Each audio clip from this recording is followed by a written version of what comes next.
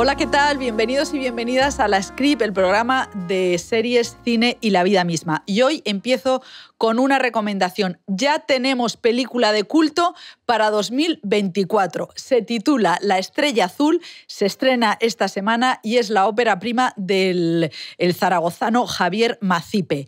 Es un falso documental sobre un eh, un can rockero de los 80 y de los 90 que murió en, 2000, en el año 2000 con 36 años. Se llamaba Mauricio Aznar, era de la época de los héroes del silencio, eh, compuso la canción que Bumburi ha cantado tantas veces, Apuesta por el rock and roll.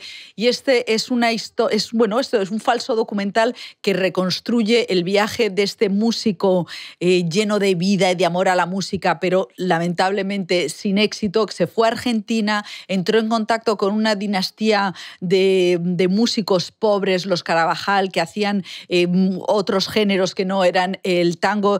Y es una película que le encargó la madre de Mauricio eh, Aznar hace 18 años. Bueno, pues esta es em, una película de textura pobre, con música en directo, y os puede parecer eh, que es una marcianada, pero es un auténtico milagro.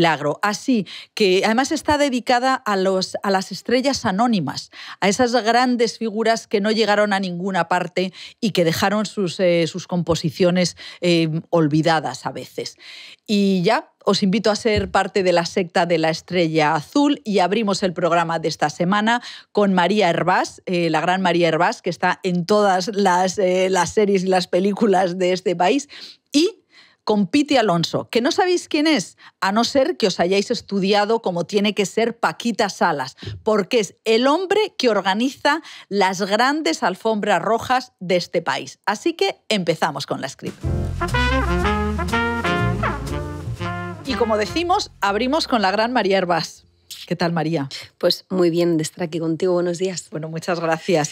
Eh, María Herbas, mm, que esta semana estrena dos estrenas película. Sí. Eh, o sea, que ayer por la noche tuviste alfombra roja de Políticamente Incorrectos. Ayer tuvimos el preestreno, sí. Y el jueves, o sea, que se estrena esta semana. Sí. El 23. el, 23 F, haciéndolo coincidir. Ah, es verdad. Sí, sí, sí.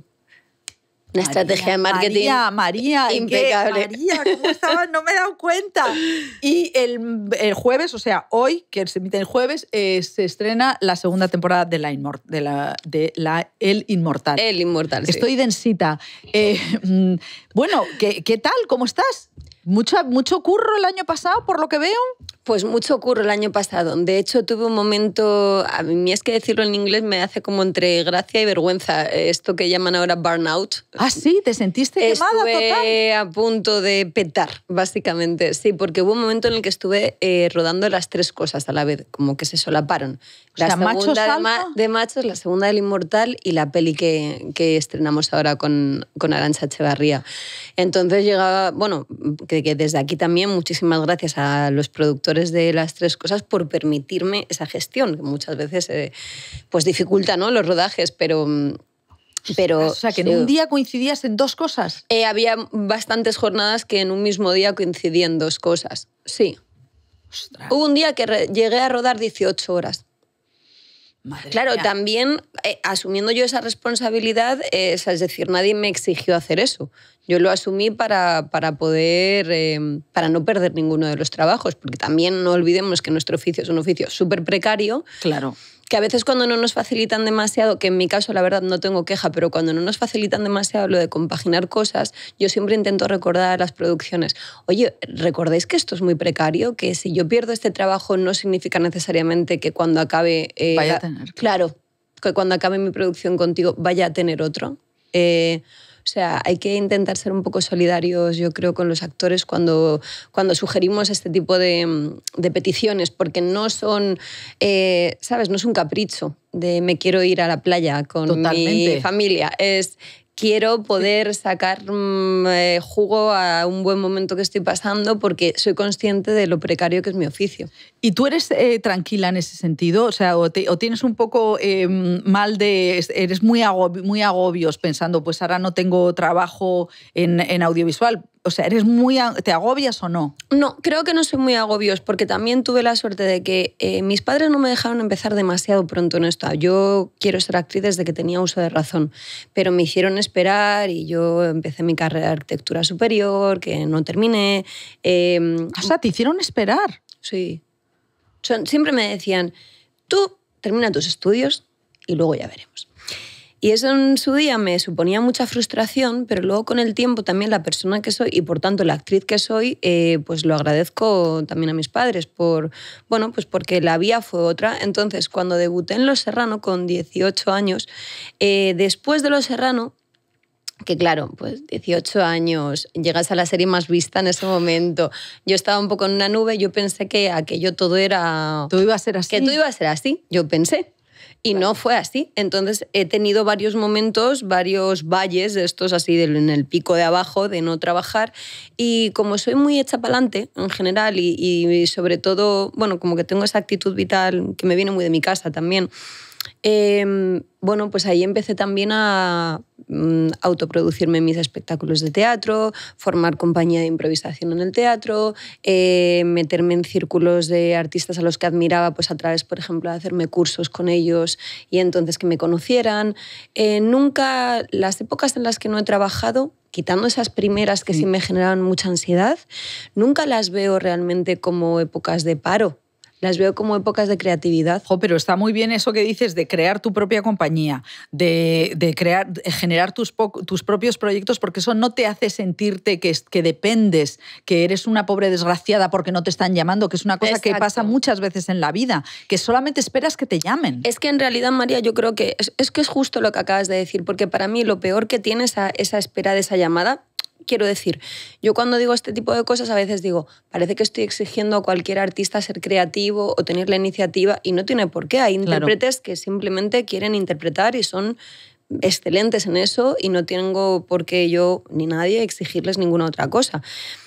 Pero el grave problema que encuentro cuando estás en esas etapas en las que no trabajas es que es para tu autoestima claro. es criminal porque al final el cerebro es muy tramposo y cuando tú no le das alimento bueno, como al cuerpo, ¿no? Si tú no le das un alimento saludable, pues empieza a comer mierda por donde la pilla. claro. ¿Sabes? Porque no tiene estás hambre. porque no eres buena. Claro, y entonces empiezas a pensar, no estoy porque no soy buena, la gente se ha cansado de mí, eh, no me va a pasar nunca, no soy interesante, no soy válida, yo qué sé, todos estos pensamientos que el cerebro te propone y que no son verdades, pero que tú las interpretas como una verdad. Qué fuerte, eso es tremenda. No, no te preocupes, si esta mesa ahora estamos, es, giratoria. Es como la vida misma, va y viene. Bien, bien. Eh, antes de empezar la entrevista, claro, eh, muchas veces, bueno, es que con eh, Carmen Machi me reía porque Carmen Machi decía que nació en Getafe, el Wikipedia no, no nació en Getafe, que tenía su cumpleaños era un día, y entonces me pegó una somanta palos que tiene toda la razón, porque fíjate, cuando empezó Wikipedia no nos dejaban a los periodistas, bueno, lógicamente citarlo, eh, y había, o sea, que te podían echar de, del curro. Entonces te preguntaba, oye, ¿tu Wikipedia está bien? No soy una persona que me autogooglee yo. Ah, no. No, pero también por una cosa, no es por una cuestión también de que pase, bueno, paso bastante, pero sobre todo es porque soy muy vulnerable. Entonces, em, como soy tan frágil, eh, no me pongo yo las cosas demasiado difíciles. Tiendo a ponérmelas sí, bastante porque es que leer todos los días lo que dicen de uno... Pues Entonces paso paso un montón. Mi padre creo que sí que chequea que yo le digo, Susi, no te metas que, que sufres. Pero, bueno, me dio una anécdota muy graciosa. Scarlett Johansson leí una vez que tuvo Instagram un día, porque dijo, eh, después de ese día y de todos los comentarios que recibí, fui consciente de que era mucho más feliz antes de tenerlo. Bueno, fíjate qué buena cosa. ¿Y se lo quitó? Si Scarlett lo hizo, eh, eh, hay que. yo no soy Scarlett, ni hay tengo, que hacerlo. Ni tengo bueno, yo me acuerdo, eh, María Herbas presentó unos feroz en los que estaba Penélope y hacías la broma de que Penélope te seguía. No, no era ninguna broma. Ah, a ver, Penélope en ese momento no me seguía, pero mm, Penélope hacía pocas semanas me había dado, yo me desperté una mañana en mi casa y había encontrado en, el, en Instagram que ella me había dado como cinco likes distintos a fotos, además en momentos muy distintos del muro. O sea, había scrolleado a la tía, como de, ¿sabes? Fuerte. Sí, cosas muy random, María. O sea, ni siquiera eran cosas relativas al trabajo, a una imitación mía en mi casa con mi padre. O sea, cosas que pensé, ¡Ah! pero no me seguía. Y digo, Pero y lo soltaste ahí. Claro, digo, ¿cómo me está haciendo esta, esta sensación tan agridulce? Joder, sígueme. Qué bueno. Y, y se Yo- lo yo dije. qué, qué- cosa tan curiosa del guion, que aquí se... Pensé que, no ¿Eras lo iba, pensé que no lo iba a hacer, eh, porque también, bueno, era yo pactado, ¿eh? no, no, le habría, no le habría puesto a- a- ni a ella ni a nadie, pero menos a ella, que la adoro en una situación incómoda. Estaba pactado que se lo preguntaría. Lo que no estaba pactado en ningún caso era la respuesta. Y yo siempre pensé que me diría, no tengo el móvil aquí, lo que fuese. Pero ella dijo, claro que sí, te sigo ahora mismo. Y efectivamente me siguió y efectivamente me sigue siguiendo. Qué guay. Pues es muy guay, la verdad. Es muy guay. Bueno, es Penélope Cruz, es no Penélope sé, Cruz. ¿sabes? No, Obvio. es verdad que Es la gran Penélope Cruz. es la gran Penélope Cruz, que es una curranta. Es una curranta. Es una, a mí lo que más me sorprende de ella curranta. es la, lo- la capacidad de, de meterse, o sea, que notas que hay pico y palo, pico y pala desde siempre. Es que si no, no puede ser. O sea, también una cosa, por ejemplo, mi madre muchas veces, ¿no? Sobre todo antes, cuando yo no curraba tanto o no me llamaban tanto, y me decía, ay, está fulanita haciendo esta serie en este papel, con lo bien que lo harías tú y tampoco me parece tan buena actriz. O, ¿sabes? O, bueno, lo de las madres, ¿no? Ya, claro. ¿Sabes? O, fíjate, esta... Y yo siempre en mi casa he insistido y sigo insistiendo mucho, digo, mamá, tenemos que acabar con estos comentarios. Ah, qué bueno. Lo primero es porque esos comentarios seguramente los están haciendo no sé cuántas mil otras madres de otras actrices en sus casas y desconocen todo lo que me ha costado a mí llegar a donde estoy. Claro. Y nunca, o yo no he conocido, creo que nunca, la situación de que sea tan fortuito, tan gratuito. Eh, no, siempre hay muchísimo trabajo. Entonces digo, mami, si esta persona está ahí, eh, si esta chica está trabajando tanto, si esta persona tiene mm, un contrato con la marca X de, mm, me da igual, de pelo, de Sí. marca, ya te hablo incluso de, de otra vía nuestra, ¿no? Seguro, 100%, que tiene que ver con su trabajo. Hombre, claro. Porque además el compromiso 100%. es, eh, es tremendo. Sí, o sea, no es puedes decir, tremendo. eh, soy de Chanel y no, No. aparezco. No. O sea, todo, No. tiene, todo tiene pico y pala. Si tú tienes que ir a grabar ese anuncio, te tienes que levantar a las 6 de la mañana, tienes que haber estado unas X semanas cuidándote un montón. O sea, todo lleva su trabajo. Entonces hay que respetar más. Bueno, es que en tu, en tu Wikipedia, ya sabes que yo tengo predilección por las madres porque me parece que, claro, uno es de, una es de donde viene, ¿no? Y las madres y los padres son importantes y pone que tu madre es camionera. Mi madre ha sido muchísimos años camionera. Mi madre es una superviviente. Pero se bueno, es que es un ejemplazo, ¿no? Bueno, sí, o sea, eh, mi madre se quedó huérfana de padre a los 13 años en una familia muy humilde. Mi abuela no sabía ni leer ni escribir, con cinco hijos, imagínate. Entonces, bueno, pues mi abuela fue una superviviente y les dio lo- todo lo que pudo a, a- a ellos. Y mi madre ha sido otra superviviente. Entonces, se ha dedicado a un montón de cosas, María. ¿Ah, Mm, sí? se ha dedicado a un montón de cosas. Eh, Ha trabajado en muchísimas cosas, en una naviera, eh, de secretaria en un bufete de abogados, en un montón de cosas. Eh, de un bufete de abogados, creo, no, en un estudio de ingeniería, no sé, whatever. Pero en cualquier caso, su último oficio durante los últimos 15 años laborables o por ahí que, que hizo fue camionera. ¿Y, y tú lo recuerdas esa época? Absolutamente. O sea, que se iba y viajaba, claro. O sea, Eh, era inter- o sea, lo hacía dentro de España y además tampoco viajaba bueno. mucho entre comunidades, sobre todo dentro de los polígonos de Madrid, que a día de hoy, si tú vas a casi cualquier polígono y tú preguntas por Juana, la llamaban en muchos sitios la Barbie camionera, eh, porque además es una mujer preciosa. eh, ¡Qué bueno! Sí, y entonces mi madre es feminista, ¿cómo decir? De las que no ha bebido de ningún tipo de teoría, de las que han desarrollado la suya propia porque han necesitado desarrollarla, porque es muy duro ser mujer y subirse a un camión. Sí, porque es un mundo muy Hombre, masculinizado. y me encontraba cosas de provocaciones tremendas, de llegar a un sitio, o sea, eh, las personas que, que conocen el oficio saben que un camionero una camionera solamente se preocupa de conducir y llevar una mercancía y que luego llega a un sitio, a un punto y alguien debe descargar esa mercancía. En el caso de mi madre, las provocaciones eran diarias. Llegaba y, de repente estaban los tres tipos que tenían que descar- descargarle pues sentados. ¿Qué pasa? Y mi madre, tengo un albarán de otras 20 entregas esperando. Claro, venga, Por chavales. favor. Ah, no, no, pero ¿qué pasa? Que una mujer no sabe descargar, queremos verlo. Y esto era diario. No, es que fuerte, es para que, es que claro, cuando hablamos, eh, eh, es verdad, del acoso, del Me Too y tal, dices, no es... No, es solamente, son muchas cosas las hostilidades que, que, aguantamos a diario. Y claro, de esas 20 entregas diarias de mi madre dependía mi educación, por ejemplo, y mi comida, por ejemplo. O sea, que tu madre ha sido un ejemplo y, está eh, un ejemplo de fortaleza. Mi madre es mi máxima inspiración. Eh, es mm, en, esencia la mujer en la que yo me quiero convertir. Eh, cuando dudo sobre algunas cosas también, mi padre es un gran referente en otros aspectos, pero em, muchas veces digo, mm, qué frágil soy respecto a lo dura en el mejor de los aspectos, que era mi madre, mi abuela, vuestra generación, sí, de tías que, que habéis currado y seguís currando como jabatas, que sacáis todo adelante, que queja ninguna o bajo mínimos. Y nosotras a veces esta cosa que parece que estamos hechas de cristal me pone un poco nerviosa. No, pero bueno, está muy bien que, que tú lo verbalices, que verbalices eh, mm, esa, eh, que esa fortaleza. Luego lo de las clases sociales, eh, tú tienes ese Max por Ifigenia en Vallecas, que es una, bueno, es una lectura ¿no? de, de la tragedia griega con, con lo que es la desigualdad, que sigue estando ahí y que tú siempre has has tenido esa vida en el teatro, porque yo creo que tú tienes muchas, esta, la vida profesional en el audiovisual, eh, que, que, a veces haces, eh, bueno, pues cosas más de niña mona, tal, no sé qué, eh, o de tía dura, como por ejemplo en El Inmortal, que eres la mujer del Inmortal, que es una tipa que, que, debe sentir las balas todos los días. O sea, que es... Sí, El Inmortal la verdad es que es uno de los proyectos más bonitos en los que he estado de momento en el audiovisual, porque como tú decías, siento que hay una carrera muy diferenciada en mi carrera del teatro, en la que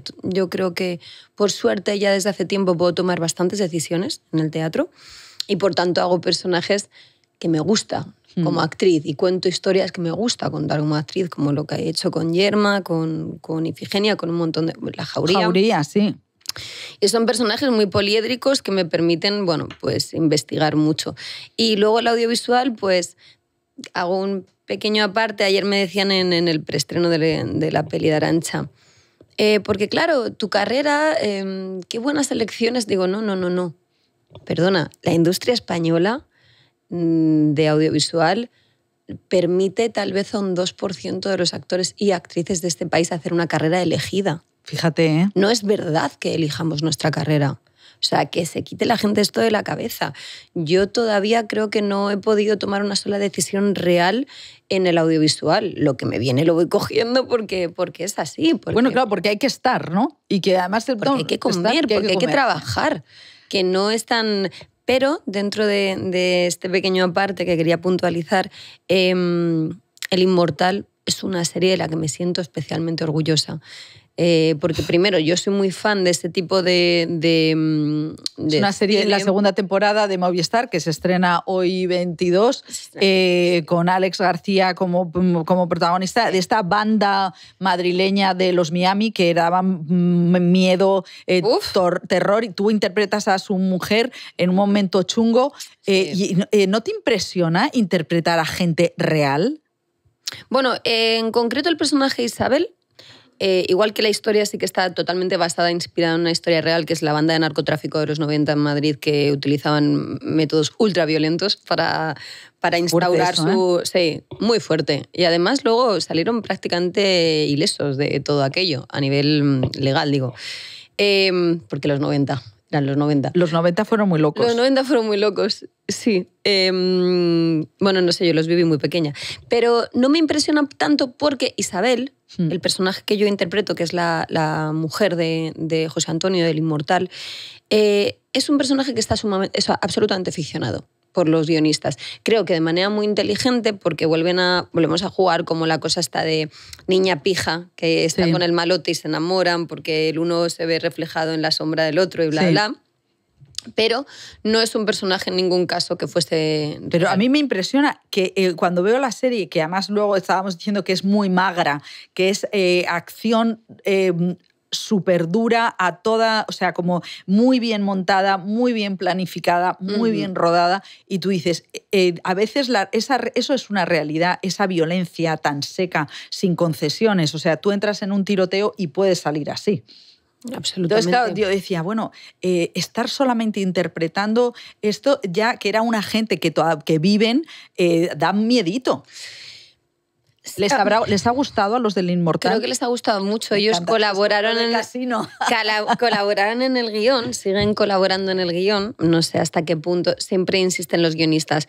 No vamos a desvelar nunca del todo cuáles de las tramas o hasta qué punto la, la historia está como súper basada eh, y pegada a la realidad o no. Y bueno, eso también lo hace sexy e interesante de cara al espectador, ¿no? Esa incertidumbre.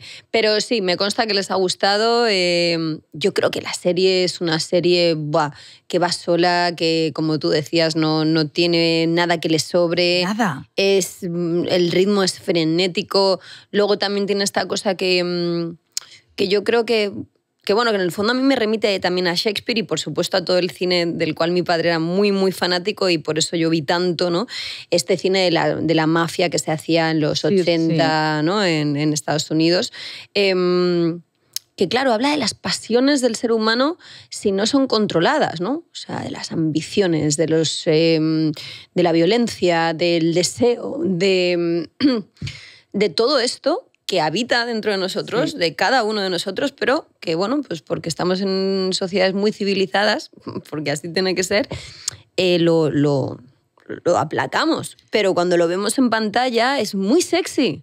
Sí, pero es, es, muy sexy, pero es terrible. Es muy sexy, pero es terrible. pero quiero decir, hay algo dentro de nosotros... Es muy Shakespeare eso que tú dices, sí. Que late fuerte porque, bueno, es como cuando ves Succession, ¿no? Por ejemplo, que es que también es muy Shakespeare. Que es súper shakespeariana. Totalmente. Y dices, guau, esos instintos de algún modo habitan dentro de mí, pero por suerte tengo un nivel de conciencia pero bueno, fíjate qué interesante eso que dices de que tus padres eh, también cogieron las riendas y dijeron, María, para no te tires a, es verdad, a ese, a ese espejismo que es el, el, deseo, porque ese deseo de quiero ser actriz, quiero ser actriz, que no sé hasta qué punto mm, se mezcla eh, la interpretación en sí misma y todo el reconocimiento, que, que es, lo que, que es lo más perturbador. Seguramente eh, en esa nebulosa me la he preguntado mil veces, María. De hecho, eh, ahora creo que estoy viviendo un momento bastante de reconciliación con mi profesión y estoy... ¿Ah, sí? Sí, y estoy bastante tranquilita y estoy bastante a gusto y me siento muy contenta siendo actriz,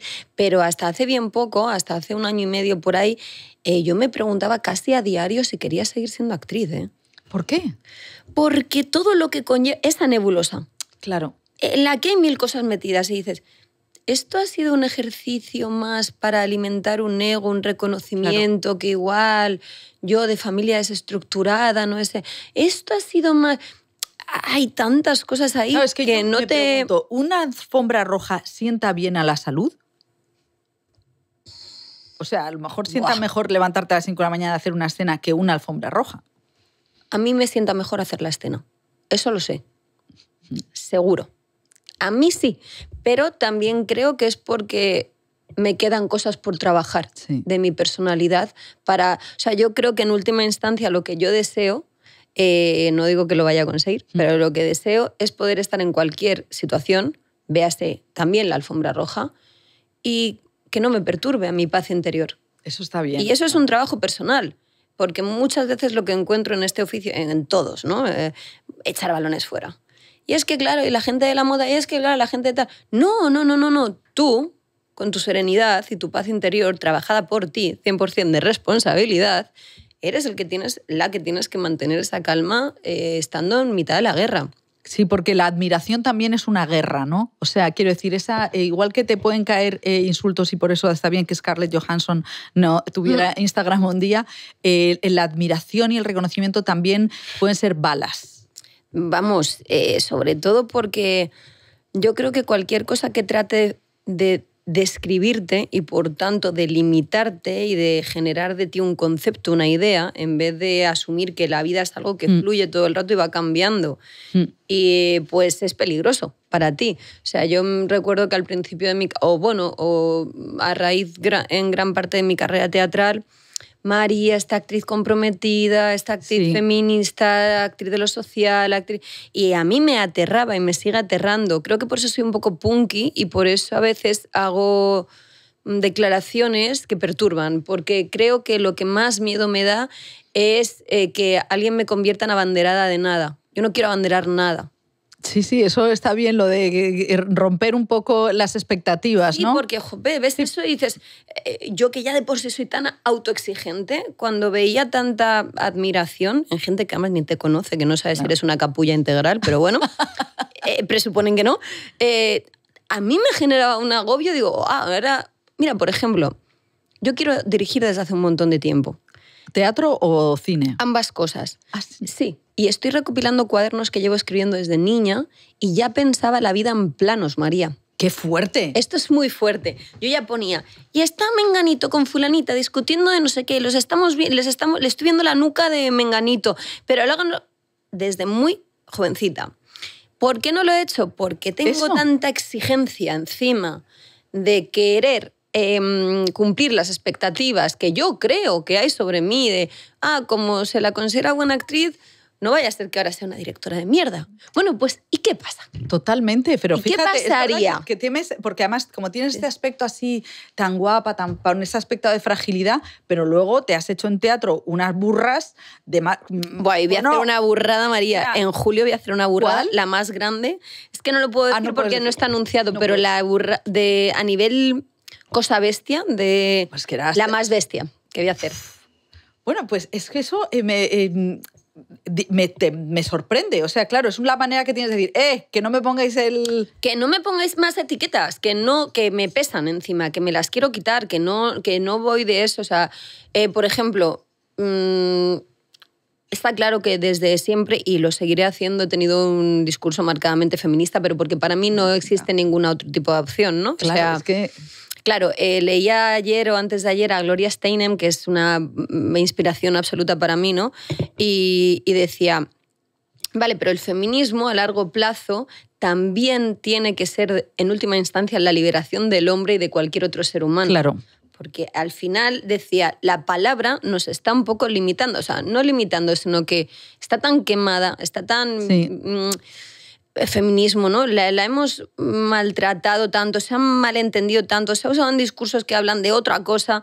Y ella proponía, claro, a mí ella me parece divertísima, ella proponía que le podemos llamar de muchas cosas. Decía, mujerismo, igualismo. Totalmente, fíjate. Y digo, fíjate, igualismo. Igualismo es mucho, pues sí, porque a, a, mí a veces me llaman en brista y yo, me quedo un poco como dice, madre mía, ya no sabemos por dónde ir. Claro, dices, sí, e, e, eres feminista, pero es verdad que, que el feminismo tiene que avanzar, avanzar. Una compañera decía, tenemos que ser mucho más, eh, tenemos que ser mucho, estar mucho más abiertas a, a, los hombres, a captar. Bueno, yo lo te hice unas declaraciones que salieron mal paradas. Creo también, yo asumo la responsabilidad, igual no era el momento, porque esto es una gozada poder tener tiempo, María. sí, claro. Y tener tiempo para explicarme y saber que mañana no me vas a hacer la faena. La cobra y te voy a hacer. No, la cobra no, sí, una faena sí. Y que tengo el tiempo para decir lo que quiero decir, ¿no? El tiempo es la gran joya y el, ¿no? el gran lujo del siglo XXI y tal. Entonces, seguramente yo, lo, llevada por el corazón, porque soy muy natural y hablo por lo que pienso, eh, no elegí como el mejor momento o bueno, ¿qué declaraciones son? Pues, pues, pues mira, precisamente unas que yo decía que, que de alguna manera, aunque yo no soy nadie para exigir ni para instaurar la manera en la que cada mujer debe hacer su discurso. Eh, cada una tiene que hacerlo desde donde lo quiera hacer, ¿no? Mm. Y tenemos derecho a estar enfadadas. Históricamente ha sido mucho ¿no? el yugo y todo esto. Pero creo que de manera inteligente, como ejercicio de seducción, que es la política en definitiva, ¿no? Eh, deberíamos persuadir más que alejar. Y que muchas veces la palabra agresiva, el discurso enervado, eh, lleno de fuego, eh, aleja más que atrae. Y entonces, en vez de aliarnos a los hombres y hacer de ellos unos aliados en un movimiento que ha de ser humanitarista. Completamente. De la humanidad. No es un movimiento nuestro en el que entonces yo te dejo pasar un ratito y ahora te digo que te pires porque... No, ellos, es verdad que eh, generalmente por cómo se ha dado la historia han sido los que más los verdugos, entre comillas. Los privilegios. Sí, pero también padecen un montón de cosas de ese software que nos han instaurado a todos y a todas, que muchos de ellos se quieren quitar. Entonces yo decía, jope, hay eslóganes y ciertas em, maneras de proponer este feminismo que a mí misma como mujer a veces digo, Bueno, esto genera una controversia y muchos hombres me escriben, menos mal que alguien defiende a los hombres. Digo, no. Y es un poco como lo de las broncas en el 8M, que tú dices, eh, vamos a ver, eh, yo voy a ir a la mani y me defiendo por la igualdad, me defiendo por los derechos, no me voy a poner a pegarme. Claro, o sea, es, eh, es, sí, que toda. Pero bueno, entiendo, como tú dices, que hay gente enfadada en todas partes y, es, legítimo. es legítimo. pero vuelvo a Gloria Steinem, decía, vamos a pasarlo bien haciendo la revolución. Es verdad. Pasémoslo bien. Y yo pienso, mira, yo soy más disfrutona y, y hay que pasarlo bien, porque eso es mucho más sexy, María. Si yo me lo estoy pasando bien, tú dices, ¿qué pasa con esta tía que eh, está contando algo tan divertido? No, y luego que me hace gracia porque tú eres sesuda, como tú sola. Eres sesuda como tú sola, porque, eh, bueno, que luego me parece muy buen ejemplo el tuyo de alguien que se forma, que estudia, que porque eh, hay tanta prisa, ¿no? Hay tanta prisa y el mundo de la interpretación da la sensación de que si no entras en esa autopista eh, lanzado y lo ganas todo, no, no vas a tener una buena carrera. Mira, eso también se lo agradezco a mis padres, o sea, yo soy de oficio. Y soy de oficio porque soy actriz y entonces soy actriz de oficio, pero si hubiese decidido ser eh, zapatera, eh, me habría intentado formar con las mejores personas, que los mejores maestros zapateros del mundo. O sea, así soy. Mi padre trabajaba el cuero cuando... Ah, claro, es que también, tienes muy buenas referentes, ¿no? Entonces, recuerdo perfectamente, por ejemplo, de niña, estar pintando, siempre cuando volvía del colegio nos poníamos a pintar juntos o a hacer puzzles, siempre hacíamos alguna manualidad. Y recuerdo ah, tal y salirme, ¿no? Y decirme a mi padre, del dibujo, de las líneas, ¿no? Coloreando, y decirme a mi padre, vamos a ver, María, ¿Por qué te has salido? ¿Porque tenías prisa por terminar o porque no puedes hacerlo bien? Porque mira que era fácil tardar cinco minutos más y no, eso también luego ha repercutido en mi autoexigencia. Papá, no del todo ha sido todo bueno, pero es verdad que me han educado en el trabajo de la hormiguita, que de a poquito. Eh, como los orientales, ¿no? O sea, los orientales dicen, no sé si son las cuántas horas decían, María, hay un documental que habla de esto, no te puedes llegar a autodenominar em, eh, maestro en un oficio hasta que no has cumplido las... Ah, bueno, claro. No sé cuántas horas, era una barbaridad. Y ahora esto... No, pero sí que... Llega una niña, un niño, dice tres frases en un sitio, le pone una cámara delante y es actor. Bueno, innegablemente es actor, mm. está interpretando, pero no somos la misma actriz. Ella ah. y yo. O sea, pero porque nuestro oficio es distinto. Mm. Yo me dedico a otras cosas. Hombre, luego tú quieres tener una carrera larga, ¿no? Hombre, eh, yo, a mí me gustaría eh, seguir contando historias hasta que me permita mi cabeza. Bueno, pues eh, eh, es que se me, se me agolpan eh, tantas cosas porque estoy pensando que en esta, por ejemplo, estoy pensando en los Oscar, que es una, una mm, un año muy interesante en el que hay películas como Barbie y como pobres criaturas, que hay unas, mm, unas productoras detrás que son mujeres de tu generación. Entonces, claro, son películas muy feministas, películas como Barbie, que es una película muy impertinente, que yo creo que ha sido en ese sentido penalizada. Eh, no sé si tú te sientes, eh, como bueno, para empezar, si a ti te interesa el tema de la temporada de premios o no te interesa nada. Eh, bueno, me interesa, depende del año, me interesa un poco más, un poco menos. Tampoco soy fanática. ¿No eres fanática? No, no soy fanática, pero bueno, al día siguiente, por supuesto, siempre bicheo quién ha ganado. Y sí que intento verme todas las películas que están nominadas tanto en, los, en nuestros premios como en los internacionales. ¿Y de muy cinéfila. ¿Y de este año qué película de los Pobre criatura, me Pobres criaturas me pareció una mm, joya. Y lo que hace Emma Stone, que soy fan absoluta de esa mujer, de todo, cómo lleva su carrera, cómo tampoco tiene Instagram, eh, la elección, porque ella sí que puede elegir, porque esa industria no es tan precaria, eh, las elecciones que va tomando son... Pues son arriesgadas, ¿eh?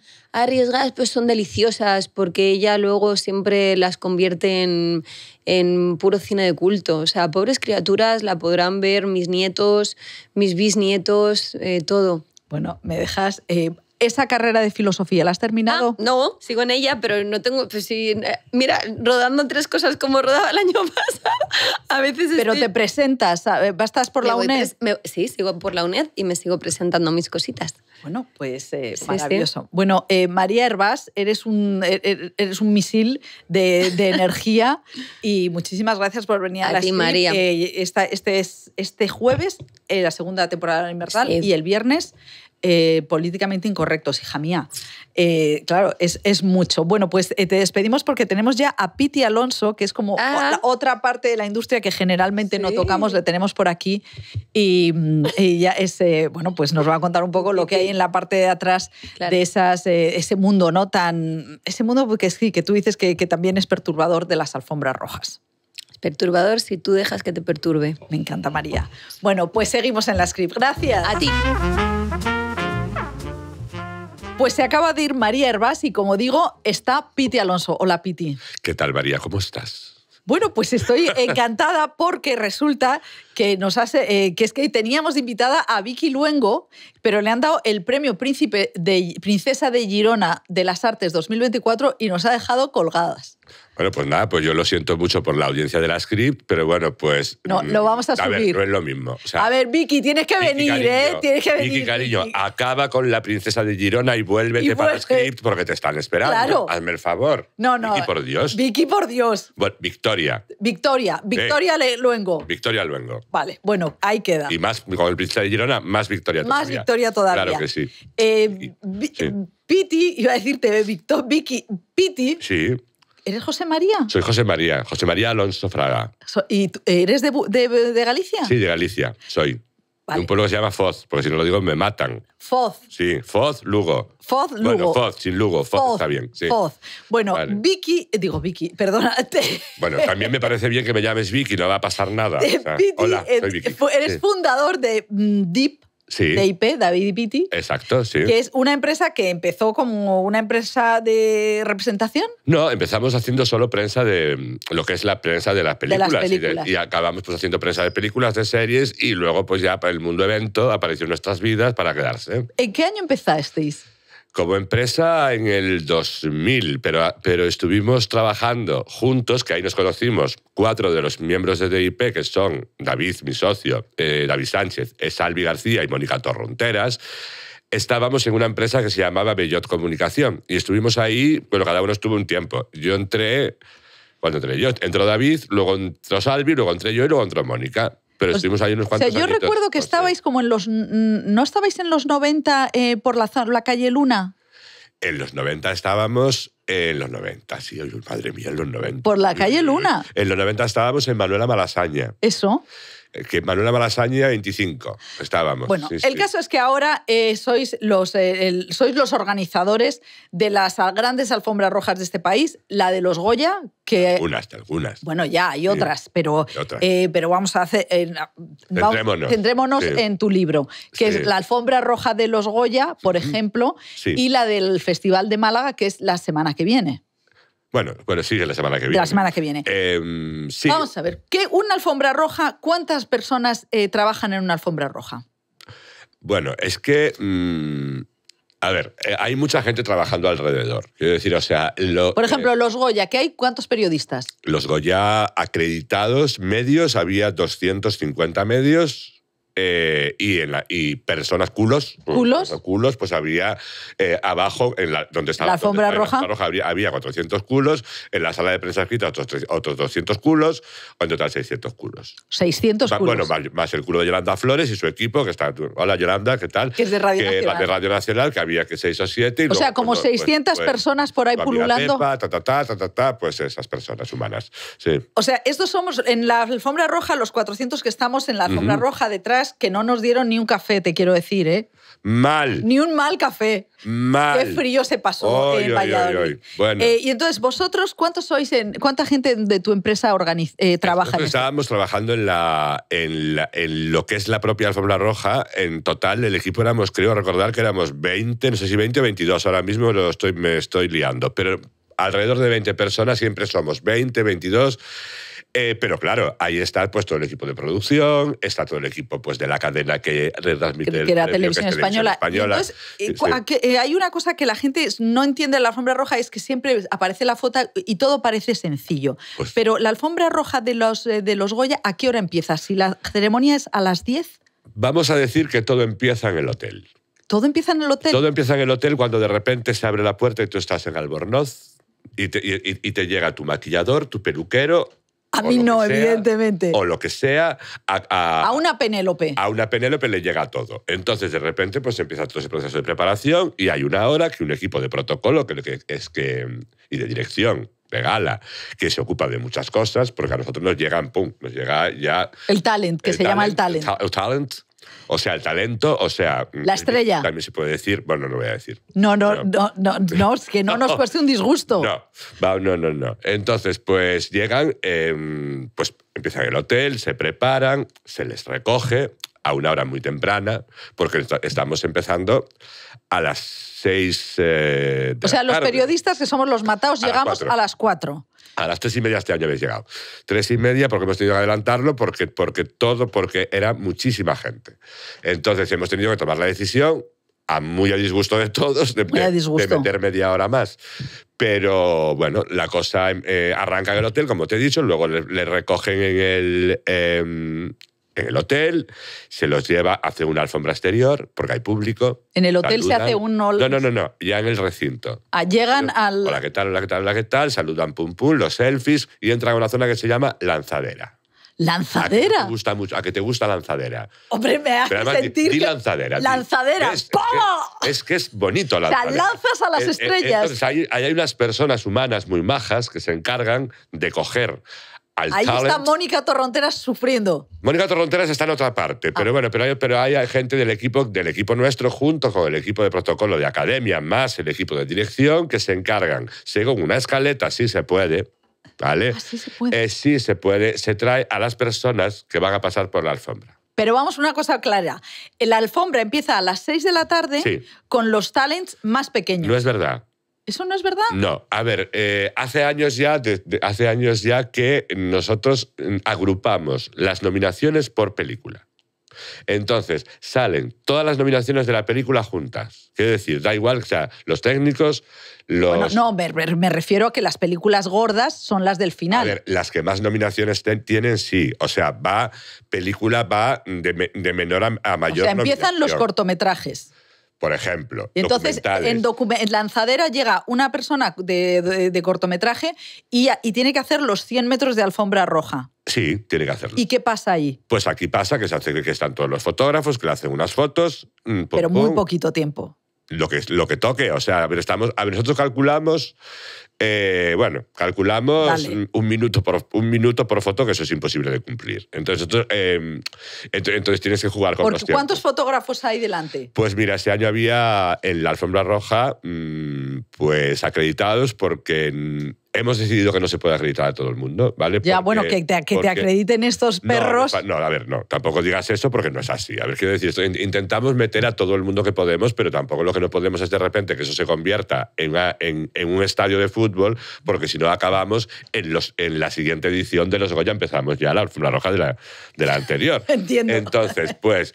eh, Teníamos 75 fotógrafos, Que ¿vale? mucho, Que son ¿eh? muchos fotógrafos de Dios, ¿vale? Sí, porque hay que empezar a mirar y les dicen, No, por claro, aquí, problema- por aquí. claro, todo eso, que es que no es, no es me pongo aquí, hago así, pum. No, no, no. este tiene que llevarse tu foto, aquel, aquel, aquel, aquel, y eso en un minuto, cariño, pues No no, sé yo. Y entonces, pues ahí estamos, estoy yo.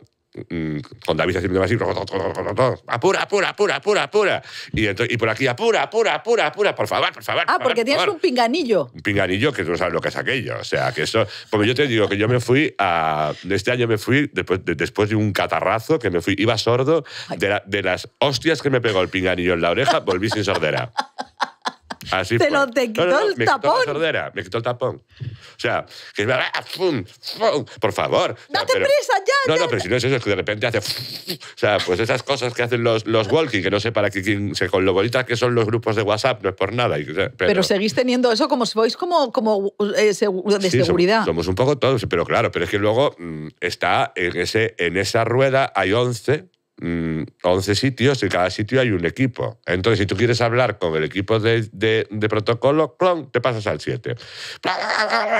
Pum, vuelves al tuyo. Oye, oye, oye, oye. Pum, y acabas diciendo, me cago La- bueno, pues eso. O sea, somos, estamos en las 6 de la tarde y Sí. empiezan a pasar los equipos de las películas, de pasar. los cortos, de los Sí. documentales. Y a estas, entonces les hacen foto a algunos fotógrafos, porque habrá otros que no hagan foto. No, normalmente, a ver, quiero Todo el mundo a estamos, todo hablando, estamos hablando de los Goya, estás nominado a un Goya, quiero decir, o sea, normalmente, pues, eh, a ver, eh, obviamente, no es lo mismo mm, Penélope Cruz que, un, con todos mis respetos, una persona que, que- que- está por primera vez nominada con su primer cortometraje, pero a lo mejor esa persona el- al año siguiente, pues resulta que lleva un largo y lo peta. Entonces, eh, siempre se hace esa foto. Ah, siempre, Siempre se se hace. hace, sí, siempre se hace. Las agencias importantes están subidas, por ejemplo, tú entras en Getty, por ejemplo, y ves, y ves que están todos. Todos. Otra cosa es lo que luego mm, se venda, se compre o lo que, lo que sea. Una vez que pasan la foto, y empiezan a hablar con, con, con- con- con teles, con radios y con Con redactores. periódicos, claro. Y vale, y aquí pues cada uno ya pide lo que necesita, quiero decir, entonces pues eh, hay gente que genera un mayor, un mayor volumen de interés y gente que genera un Vale. menor volumen de interés, Vale. que eso no quiere decir que no generen interés. Vale. Claro, es que de de- dependiendo de lo- de- de- del programa que tú estés haciendo y de lo que necesites cubrir, pues necesitas un contenido o necesitas otro. Pero, por ejemplo, hay gente que está acreditada de medios que son bastante mm, especializados en documentales también. Claro, claro. Eh, gente que les interesan mucho los cortometrajes. Entonces, aparte, nosotros les damos, intentamos darles mucho, mucho protagonismo. Ah, bueno, Porque es- creemos que es importante apoyar al cortometraje y al documental, tanto dentro de la gala, como se hace, dentro de la alfombra roja, dentro de, la- de- de- de luego, eh, a la hora de, que los periodistas tengan acceso a esas personas. Sí, porque que la gusta- ganan, llega, la, Sí. eh, llega la alfombra roja, que hay, como son 100 metros quizá de alfombra un roja. poquito menos, pero sí más o menos. Más o menos, con los cuando allí ya son 300, pensando que se han quedado eh, los de foto en el otro lado. Y entonces se va parando en cada, en cada cámara Mm. y en cada micro. ¿Y eso cómo se hace? ¿Cómo se miden ahí los tiempos?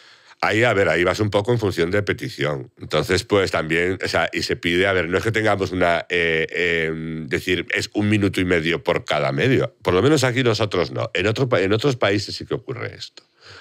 Pero aquí no. Intentamos por lo dar un poquito de libertad en ese sentido, siempre eh, pidiendo un poquito de colaboración por parte del No, del a nosotros, por ejemplo, sí. en, en lo- en la script, en esta alfombra roja, si había, por ejemplo, venía Penélope, eh, se hizo un, un grupo. un grupo. sí, claro. O a veces venía eh, Bayona, pues compartíamos Pepa Blanes, eh, la serie y, yo. Eh, y si venía el presidente del gobierno, se montó la de San Quintín, igual Sí. que con Penélope. Sí, era el mismo, era, fue el Es el mismo, mismo mi- nivel. El mismo grupo, que era Pedro y Penélope. Pedro, Pedro y Penélope. Pedro, Pedro, es bueno, verdad. Pedro Yolanda, Pedro Penélope. O sea, un poco era eso. O sea que en, Sí. eh, y esa es la parte, cuando hay tensión en la alfombra? En ese momento, cuando empiezan, digamos, una hora antes, que empiezan las películas más grandes. No, a ver, a ver, yo, a ver, yo no te... eh, te voy a ser muy sincero. A mí, a mí que la película sea grande o pequeña, a día de hoy, porque Sí. tengo bastante experiencia, no me genera ningún tipo de problema. Ah, ¿no? No. O sea, eh, el, la- el tema institucional quizás es el que más...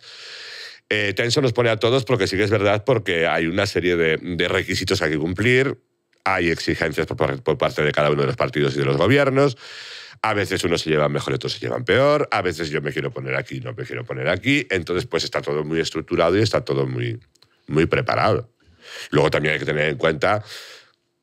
No hace falta. mm, ¿Qué? Pues hay que tener en cuenta pues, quién gobierna cada sitio y, y las cosas de cómo luego se estructuran a la hora de hacer la foto.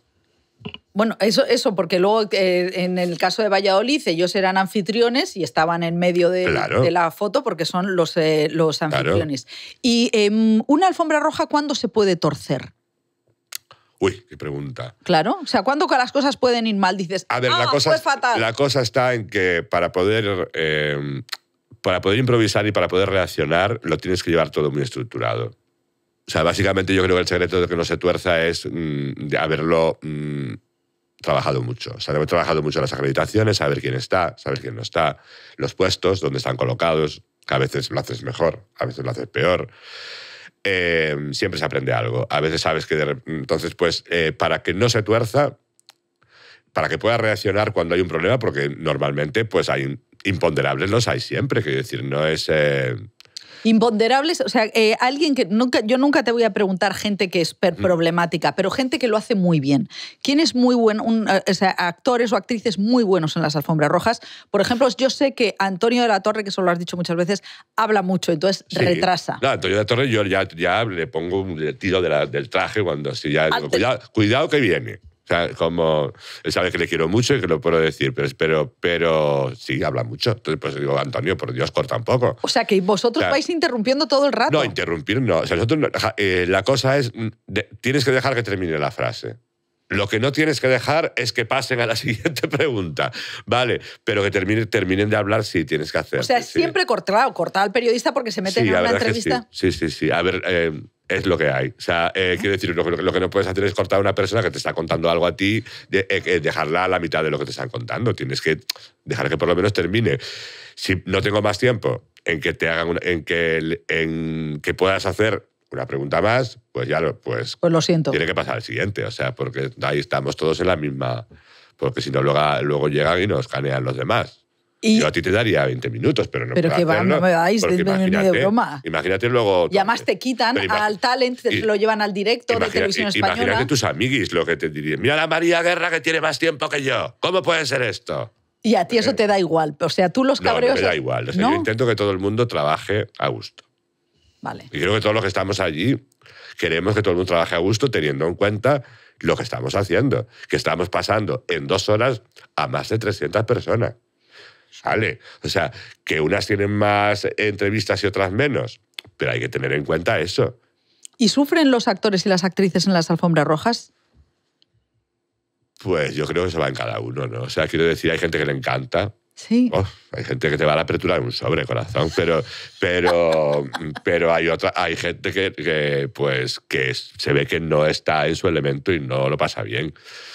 Y nosotros también tenemos que intentar un poco que eso... mm, A ver, yo, les- yo, les, yo les digo muchas tonterías cuando están allí. Yo cuando llega les digo muchas burradas y de repente pero como para, como para quitar un poquito de, de hierro, bueno, o sea, y como tengo un poquito de confianza, salvajismo puro.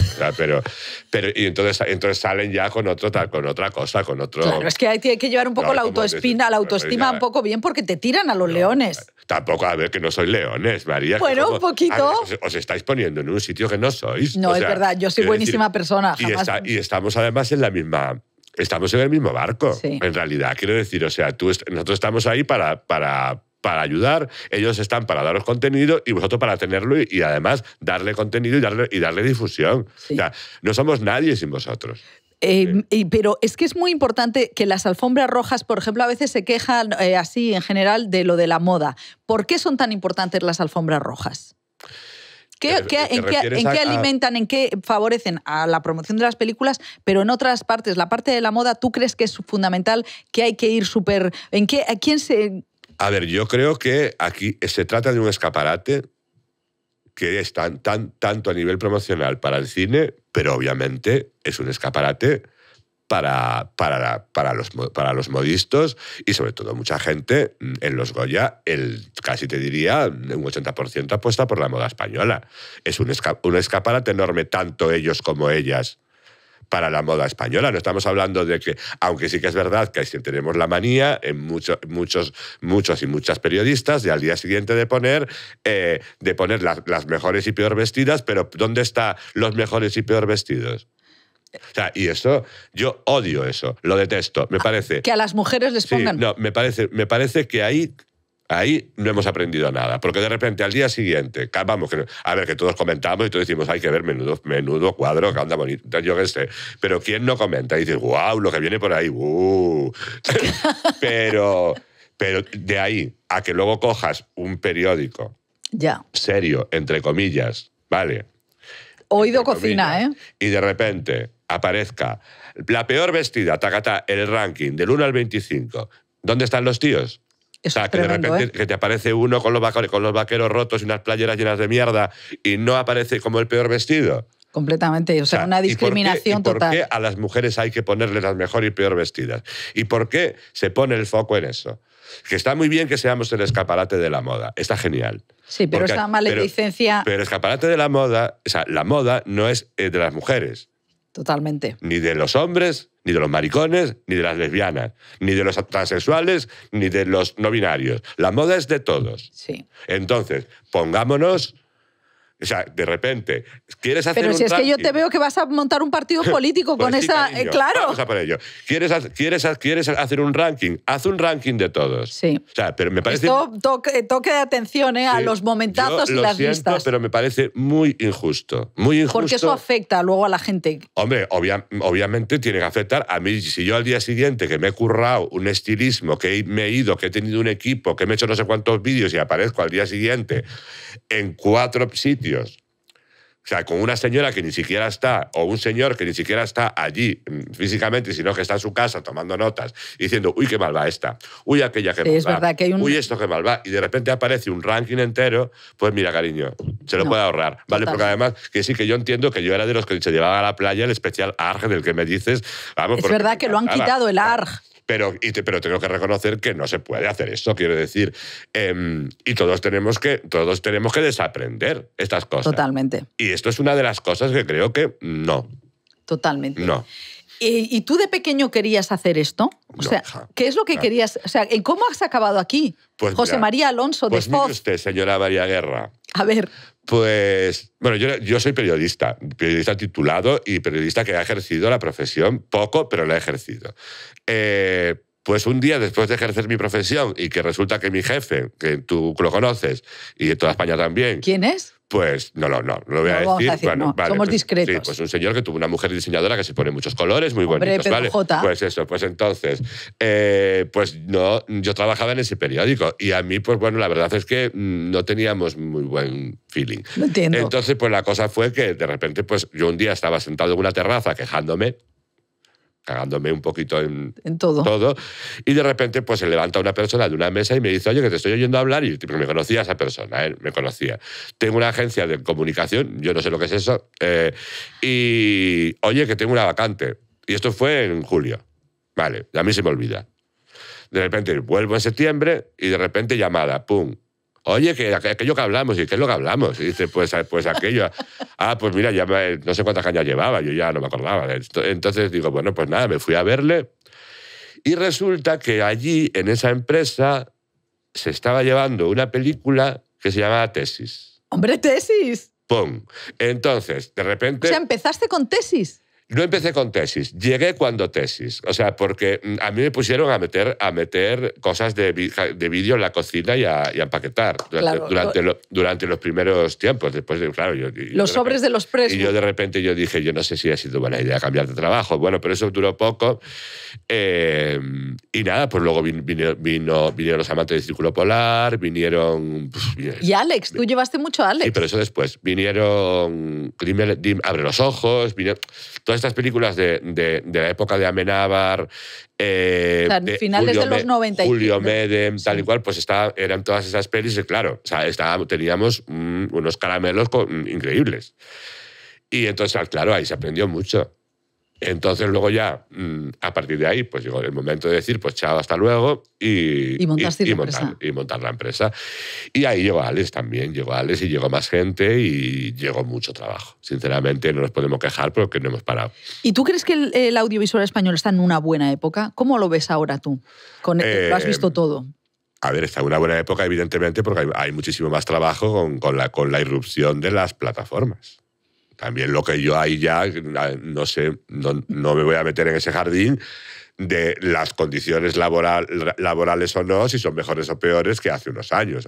Eso ya ha abierto el melón y me Ese parece melón estupendo. ya pues está abierto y que lo abran y que lo cierren cuando lo puedan cerrar. Yo tengo mi propia opinión, obviamente. Creo que en ese sentido se ha ido a peor.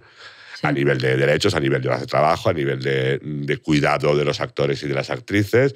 Pero, pero bueno, eh, en, en el sentido de que se hace más producción, claro que se hace más producción. Y de la proyección internacional eh, que generan las plataformas, obviamente es- lo, lo son. Últimas última cuestión. Tú saliste en Paquita Salas, Sí. que eso Soy la soy mala. Eres como, eh, o sea, Sí. eso es el, el sello Por de favor. éxito. Eh, ¿Qué hay, qué hay después? ¿qué hay después de Paquita Salas? ¿Qué hay después? Ambrosi Calvo, ¿qué hay después de Paquita? Joder, la Mesías, macho. Bueno, ya, digo para mí. Yo, Ah. ¿Acaso estoy yo en la Mesías? No, ¿verdad? Pues nada. Y bueno, pues eso es una reclamación muy legítima. No, no, no. Necesitamos, necesitamos una temporada ya nueva de Paquita. ¿Tú crees que va a haber? Pues no lo sé, la verdad es que yo creo que tienen bastante ocupación. eh, Tienen ocupación tienen- hotelera. Tienen, tienen plancha. Entonces no sé cuando terminen el cerro planchas lo que, lo que van a, a abrir, pero bueno. Bueno, vamos a dejarlo aquí. lo dejamos aquí. Lo dejamos aquí. Eh, Piti, muchísimas gracias por haber venido. Eh, yo creo que Vi- Victoria Luengo ya, Vict- Victoria, por favor, véngase. véngase. Eh, Y, y nada, nosotros volvemos, la, nosotros volvemos la script la semana que viene, eh, pero con esta clase ya sabéis lo que tenéis que hacer o no y mirar muy bien a todos los fotógrafos en la, en la alfombra roja. pues nada, pues un Pues placer. lo dejamos estar aquí. Muchas gracias. Gracias a usted. Chao, chao, seguimos.